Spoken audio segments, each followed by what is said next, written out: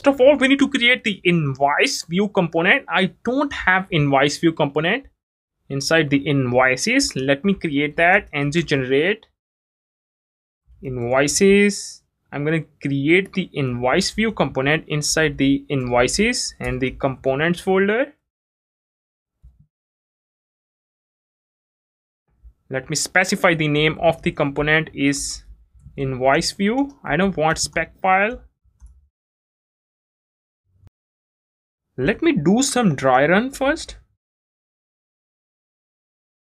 I forgot to add component C. That is the magic of dry run. Now it looks good.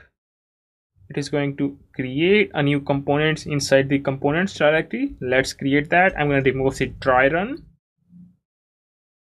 Cool. Invoice view component has created. Let me open that.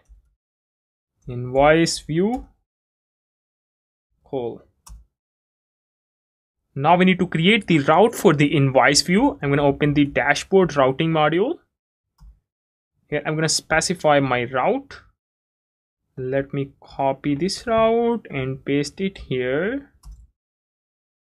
And I'm going to change the name should be id slash view. Here we need to specify the invoice view component so everything is good to go. Let's try to test that. So we need to start the project by using npm start. Let's try to test this route.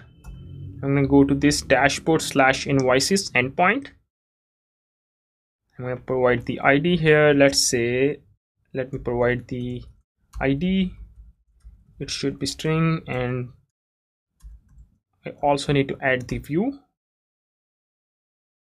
Cool. It has successfully navigated to this route invoices slash id slash view. So here we have invoice view works.